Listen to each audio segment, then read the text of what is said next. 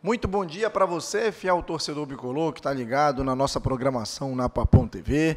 Falamos aqui da sala de imprensa do estádio Bam Paracuruzu para bater um papo hoje com o atacante Jean Dias, autor do gol de empate do Paysandu no jogo passado contra a equipe do Guarani, que abriu o caminho para a virada bicolor no último sábado aqui no caldeirão do maior campeão da Amazônia. Jean, uh, primeiramente bom dia para você.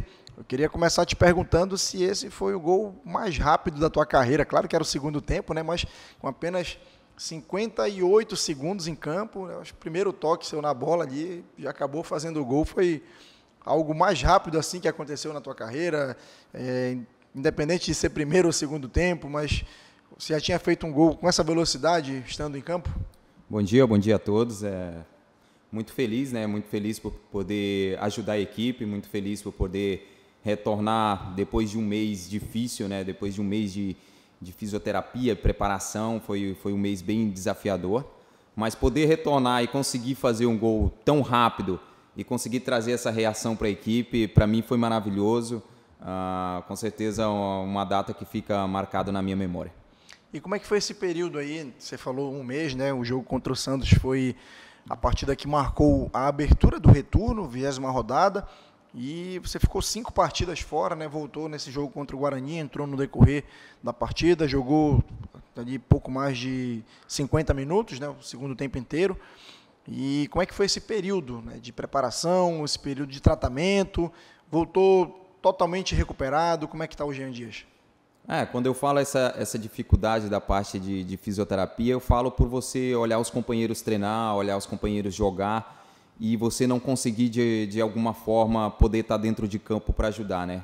Mas foi um período que a rapaziada da, da fisioterapia conseguiu desempenhar o seu trabalho muito bem e conseguiu que eu voltasse antes do prazo que era determinado e eu fiquei muito feliz. E aí você poder retornar ao, ao gramado e conseguir de alguma forma ajudar traz essa alegria novamente. Então, é muito feliz por esse por esse retorno, por esse momento.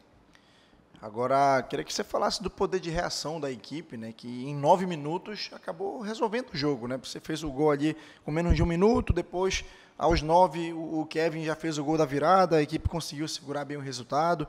Fala para a gente desse poder de reação, né? dessa força mental, acho que acima de tudo, por todo o contexto, nove jogos sem vencer, né? foi para o intervalo em desvantagem, né?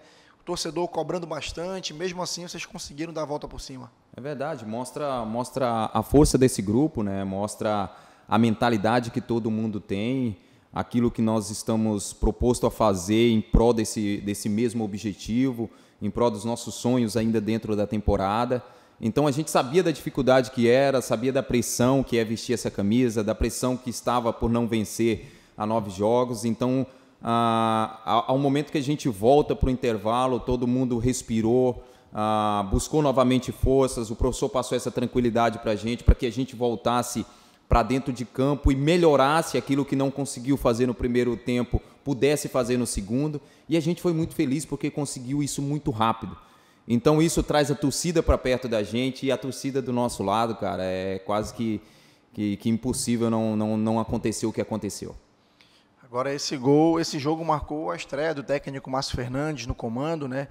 E qual a importância para você de fazer um gol justamente na estreia, né? Numa mudança de comando, treinador novo, opa, professor, estou por aqui.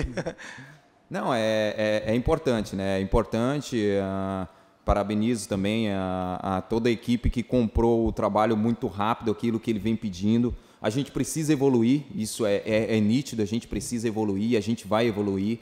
Uh, a gente comprou aquilo que ele nos pediu nesses dias que ele teve para trabalhar. E, e, ali, quando ele falou no intervalo para a gente, justamente trazendo essa tranquilidade que as coisas iriam melhorar no segundo tempo, eu acredito que isso ah, aumentou ainda mais esse mental da equipe. A equipe confia totalmente naquilo que ele está falando e a gente procurou desempenhar principalmente no segundo tempo. Jean, para a gente finalizar, e esse América Mineiro, adversário muito duro, dificílimo que vocês estão esperando esse confronto fora de casa, jogar na Arena Independência é sempre complicado, né? Isso é verdade, cara. Isso é verdade. A gente entende essa dificuldade, a gente entende a força que é essa equipe dentro da sua casa mas a gente está buscando e a gente está sonhando com os nossos objetivos.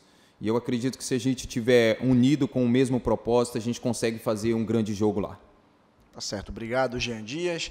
E obrigado também a você, torcedor Bicolor, pela sua atenção, por ter acompanhado mais uma entrevista aqui no nosso canal. O Paysandu treinou agora pela manhã no estádio Bampará Curuzu e à tarde, às 17 horas, segue viagem com destino a Belo Horizonte, local da partida de quarta-feira, às 21h30, contra o América Mineiro, pela 27ª rodada da Série B do Campeonato Brasileiro. Inscreva-se aqui no nosso canal da Papão TV no YouTube, ative o sino das notificações e fique por dentro de tudo que acontece aqui no maior campeão da Amazônia. Uma boa tarde a todos e amanhã a gente volta direto de Belo Horizonte.